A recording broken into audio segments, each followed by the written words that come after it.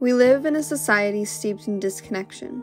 From the bustling, hectic lifestyles we lead to the plastic wrapped vegetables from other countries that we buy at the grocery store, to the feedlots and mass agriculture that produce so much of our sustenance, to the technology we have created in order to connect us, to the degradation of the earth for profit, we are disconnected from the natural cycles of our world.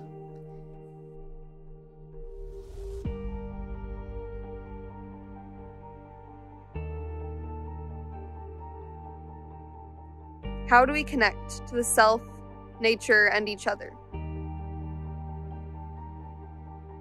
If I think about um, the the moments where I experience really heightened connection, there's like a recipe.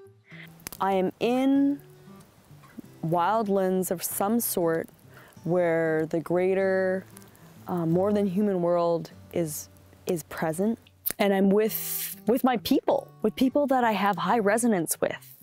Uh, or that yeah that are with good friends most of our ancestors lived in that way in settings where there would have been we would have been outside in some sort of village setting surrounded by people of many different generations just doing the basics of living and those are the skills that i i think really bring me into connection are what i call like the hand skills of living in the bush of um, knowing how of harvesting plants um, or of tanning hides, uh, of crafting things with my hands, but not doing it alone, doing it surrounded by people. I really love that.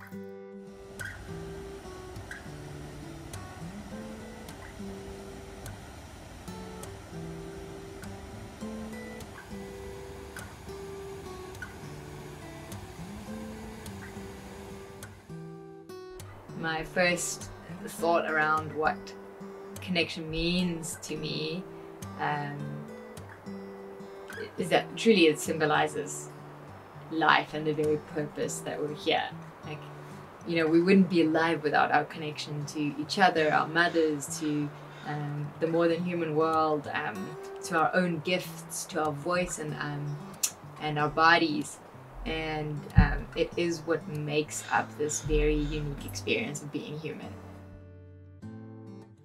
The, the opposite of connection is also our greatest wound in the world separateness and disconnection. And so, um, in a way, I guess it means health, healing, and joy.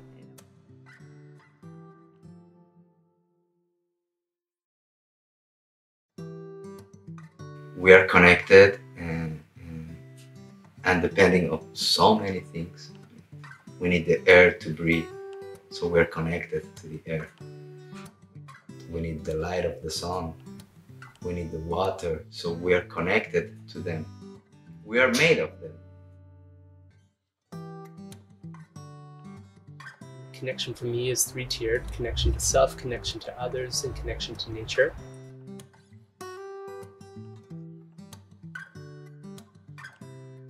connection to self is really about the process of self-discovery and asking who am I and moving closer to authenticity and shedding away the different stories and conditioning that each individual has.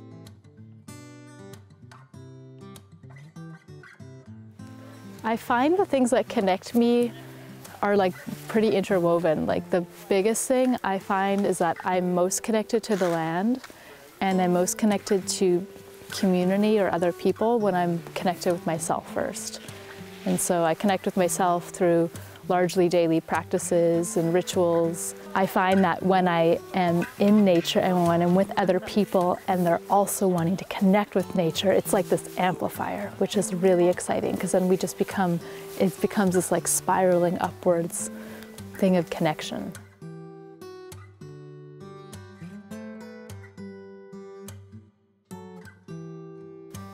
When I'm deeply in touch with my, uh, my own self. I'm in touch with my intuition. Um, that feels connective. I feel connected to myself when I write poetry and making art. These are all ways that I connect to myself.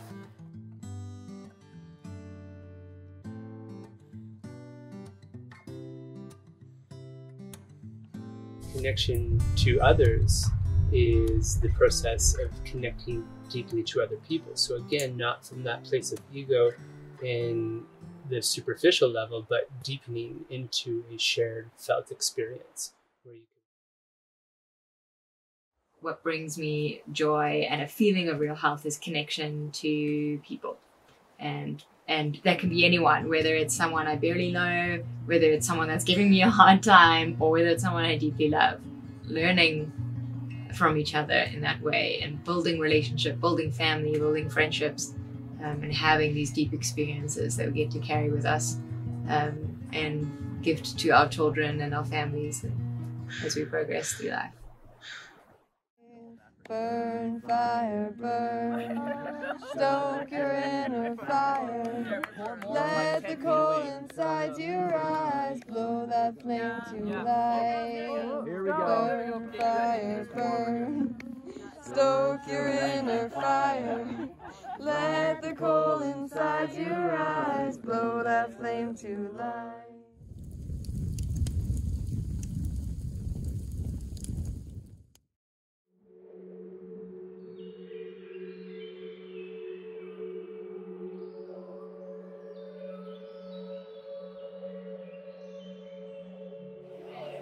And then connection to nature is kind of similar in the way that there is an energy that's held by nature. There's an energy that's held by the plants and the trees and the sun and the land and the animals.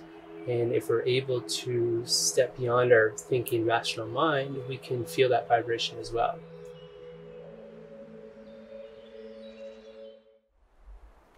you know it doesn't it doesn't take much it can take just me lifting my eyes to the trees or listening to the wind or taking my shoes off and putting them on the grass or the ground and like that brings me um, a joy that I know is both spiritual, emotional, and biological. Like it, it, it is literally an effect on our physiology when we're connecting with nature.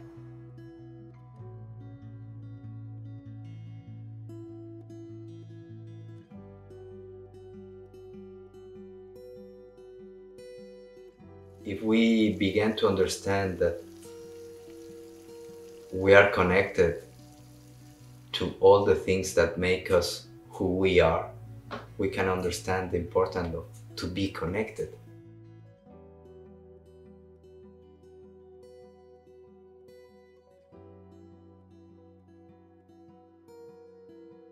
And that's really important to have that experience of connection because then we're inspired to take care of these wild places. And as we connect to others, we're inspired to care for them have compassion and be mindful of their experience. And similarly, as we connect with ourselves and recognize that we're greater than we think we are, we're more than just our individual person. We are something that exists way beyond that.